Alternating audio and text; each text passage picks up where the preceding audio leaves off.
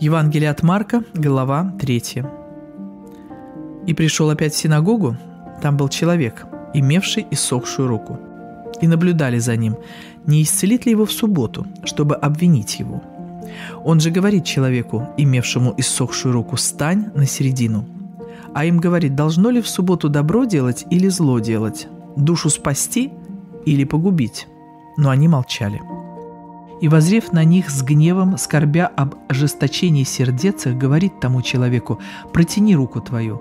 Он протянул, и стала рука его здорова, как другая.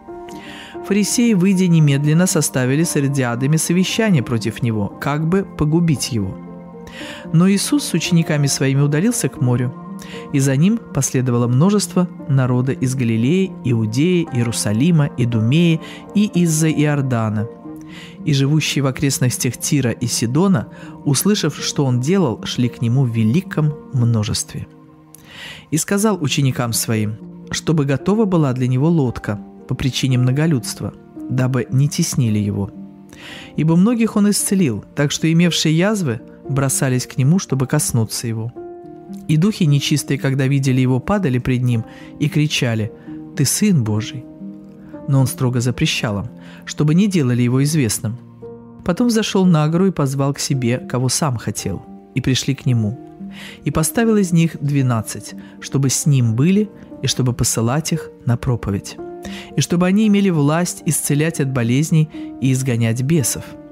Поставил Симона, нарекший ему имя Петр, Иакова Завидеева и Иоанна, брата Иакова, нарекший им имена Ваанергес, то есть сыны Громовы, Андрея, Филиппа, Варфоломея, Матфея, Фому, Иакова, Алфеева, Фадея, Симона, Канонита и Иуду Искариотского, который и предал его. Приходят в дом, и опять сходится народ, так что им невозможно было и хлеба есть. И, услышав, ближние его пошли взять его, ибо говорили, что он вышел из себя – а книжники, пришедшие из Иерусалима, говорили, что он имеет в себе Вильзевула и что изгоняет бесов силою бесовского князя. И, призвав их, говорил им притчами, как может сатана изгонять сатану? Если царство разделится само в себе, не может устоять царство то. И если дом разделится сам в себе, не может устоять дом тот. И если сатана восстал на самого себя и разделился, не может устоять но пришел конец его. Никто, войдя в дом сильного, не может расхитить вещей его, если прежде не свяжет сильного, и тогда расхитит дом его. Истинно говорю вам, будут прощены сынам человеческим все грехи и хуления, какими бы ни хулили. Но кто будет хулить Духа Святого, тому не будет прощения вовек, но подлежит он вечному осуждению – Сие сказал он потому, что говорили в нем нечистый дух. И пришли матери, братья его, и, стоя вне дома, послали к нему звать его. Около него сидел народ, и сказали ему, «Вот матерь твои, братья твои сестры твои вне дома спрашивают тебя». И отвечал им, «Кто матерь моя и братья мои?» И, обозрев сидящих вокруг себя, говорит, «Вот матерь моя и братья мои. Ибо кто будет исполнять волю Божию, тот мне брат и сестра, и матерь.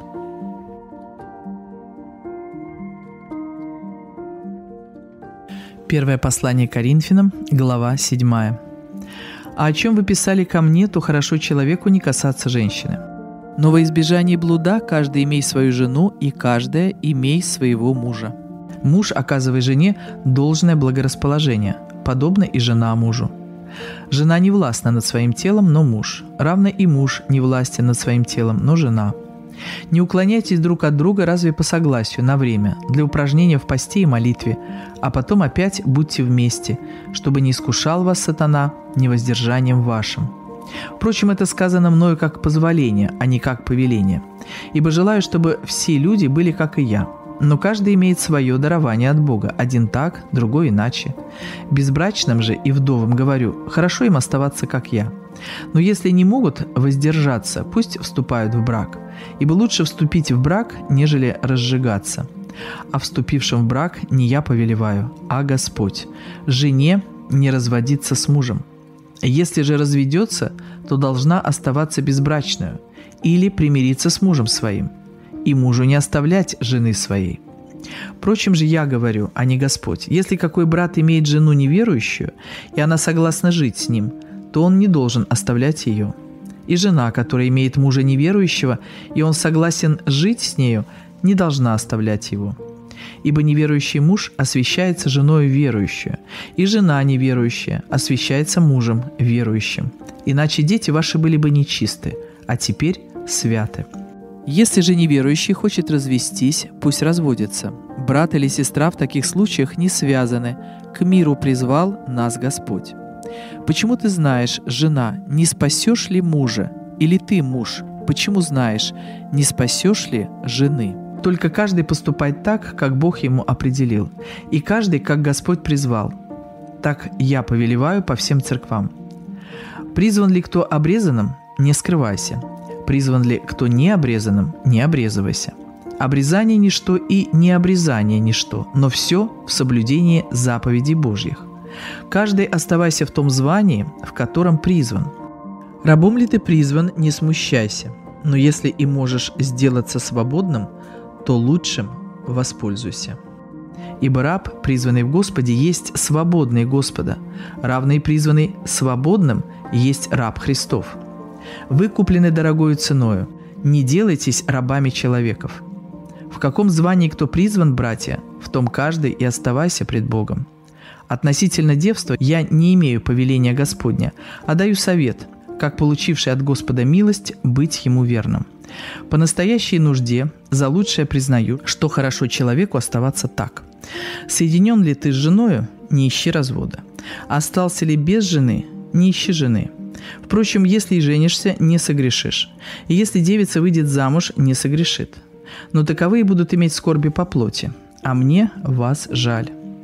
Я вам сказываю, братья, время уже коротко, так что имеющие жен должны быть как не имеющие, и плачущие, как не плачущие, и радующиеся, как не радующиеся, и покупающие, как не приобретающие, и пользующиеся миром сим, как не пользующиеся, ибо проходит образ мира сего. А я хочу, чтобы вы были без забот. Не женатый заботится о Господнем, как угодить Господу, а женатый заботится о мирском, как угодить жене. Есть разность между замужней и девицей. Незамужняя заботится о Господнем, как угодить Господу, чтобы быть святою и телом, и духом. А замужняя заботится о мирском, как угодить мужу.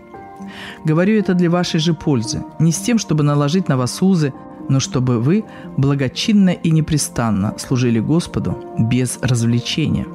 Если же кто почитает неприличным для своей девицы то, чтобы она, будучи в зрелом возрасте, оставалась так, тот пусть делает, как хочет, не согрешит. Пусть таковые выходят замуж. Но кто непоколебимо тверд в сердце своем и, не будучи стесняем нуждою, но будучи властен в своей воле, решился в сердце своем соблюдать свою деву, тот хорошо поступает. Посему выдающий замуж свою девицу поступает хорошо, а не выдающий поступает лучше. Жена связана законом, доколе жив муж ее. Если же муж ее умрет, свободно выйти за кого хочет, только в Господе. Но она блаженнее, если останется так, по моему совету. А думаю и я имею Духа Божия.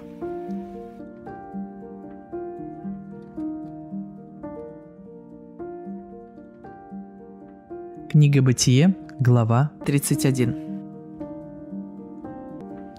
«И услышал Иаков слова сынов Лавановых, которые говорили, «Иаков завладел всем, что было у отца нашего, и из имени отца нашего составил все богатство сие. И увидел Иаков лицо Лавана, и вот оно не таково к нему, как было вчера и третьего дня. И сказал Господь Иакову, «Возвратись в землю отцов твоих и на родину твою, и я буду с тобою». И послал Иаков и призвал Рахиль и Лию в поле к стаду мелкого скота своего. И сказал им, «Я вижу лицо отца вашего, что оно ко мне не таково, как было вчера и третьего дня, но Бог отца моего был со мною. Вы сами знаете, что я всеми силами служил отцу вашему. А отец ваш обманывал меня и раз десять переменял награду мою. Но Бог не попустил ему сделать мне зло. Когда сказал он, что скот с крапинами будет тебе в награду, то скот весь родил с крапинами. А когда он сказал, пестрые будут тебе в награду, то скот весь и родил пестрых. И отнял Бог весь скот у отца вашего и дал его мне. Однажды в такое время, когда скот зачинает, я взглянул и увидел во сне, и вот козлы и овны, поднявшиеся на скот, на коз и овец, пестрые, с крапинами и пятнами. Ангел Божий сказал мне во сне, Иаков. Я сказал, вот я. Он сказал, возведи очи твои, посмотри. Все козлы и овны, поднявшиеся на скот, на коз и овец, пестрые, с крапинами и с пятнами, ибо я вижу все, что Лаван делает с тобою. Я Бог, явившийся тебе в Вифиле, где ты возлил елей на памятник и где ты дал мне обед.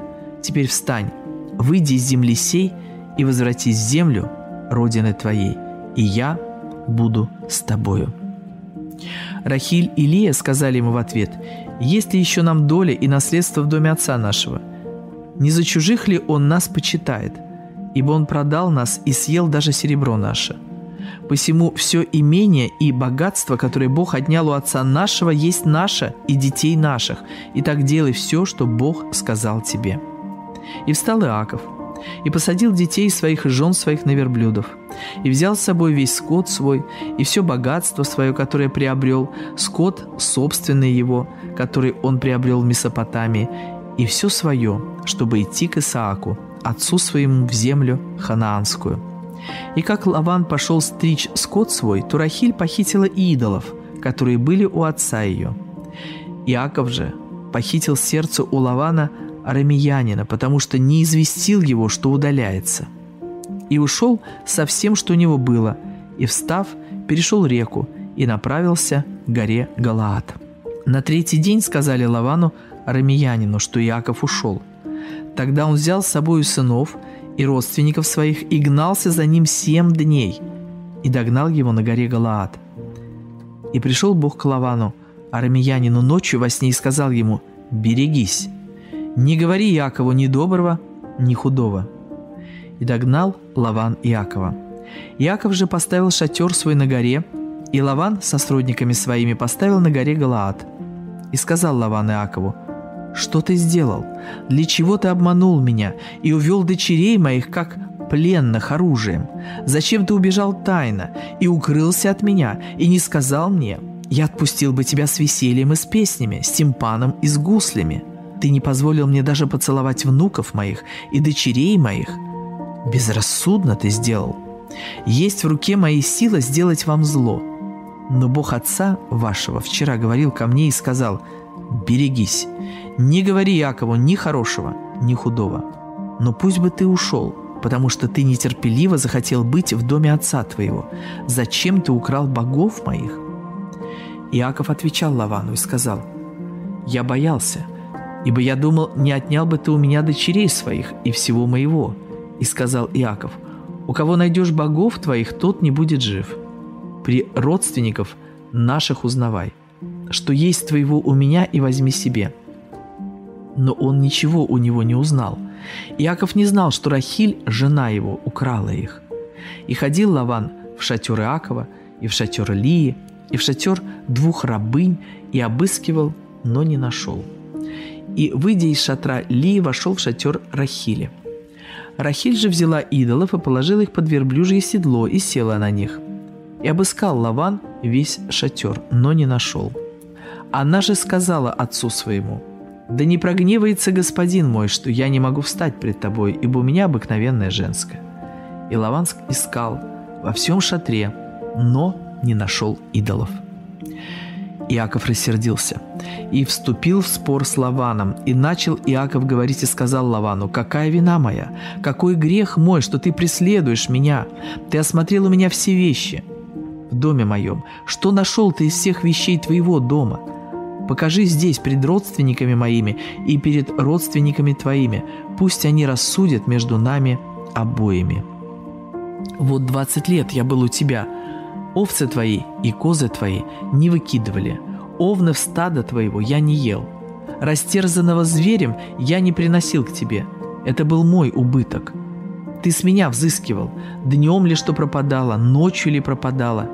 Я томился днем от жара, а ночью от стужи, и сон мой убегал от глаз моих. Таковы мои двадцать лет в доме твоем. Я служил тебе 14 лет за двух дочерей твоих и 6 лет за скот твой, а ты 10 раз переменял награду мою. Если бы не был со мною Бог отца моего, Бог Авраама и страх Исаака, ты бы теперь отпустил меня ни с чем. Бог увидел бедствие мое и труд рук моих, и вступился за меня вчера». И отвечал Лаван и сказал Иакову, «Дочери мои дочери, дети мои дети, скот мой скот, и все, что ты видишь, это мое. Могу ли я что сделать теперь с дочерями моими и с детьми их, которые рождены ими? Теперь заключим союз, я и ты, и это будет свидетельством между мною и тобою». При всем Иаков сказал ему, «Вот с нами нет никого, смотри, Бог свидетель между мною и тобой». И взял Иаков камень и поставил его памятником. И сказал Иаков родственникам своим, «Наберите камней». Они взяли камни и сделали холм, и ели и пили там, на холме. И сказал ему Лаван, «Холм сей, свидетель сегодня между мною и тобой». И назвал его Лаван Иегар Сагадуфа а Яков назвал его Галаадом. И сказал Лаван Иакову, «Сегодня этот холм и памятник, который я поставил, между мной и тобою свидетель, посему и наречено ему имя Галаад». Также Мицпа, от того, что Лаван сказал, «Да надзирает Господь надо мною и над тобою, когда мы скроемся друг от друга». Если ты будешь худо поступать с дочерями моими, или если возьмешь жен сверх дочерей моих, то хотя нет человека между нами, который бы видел, но смотри, Бог свидетель между мною и между тобою». И сказал Лаван Иакову, «Вот холм сей, и вот памятник, который я поставил между мною и тобою. Этот холм – свидетель, и этот памятник – свидетель, что ни я не перейду к тебе за этот холм, ни ты не перейдешь ко мне за этот холм и за этот памятник для зла.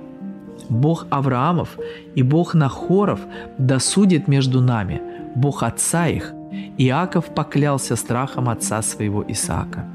И заколол Иаков жертву на горе, и позвал родственников своих есть хлеб, и они ели хлеб и пили, и ночевали на горе. И встал Лаван рано утром и поцеловал внуков своих, дочерей своих, и благословил их. И пошел, и возвратился Лаван в свое место.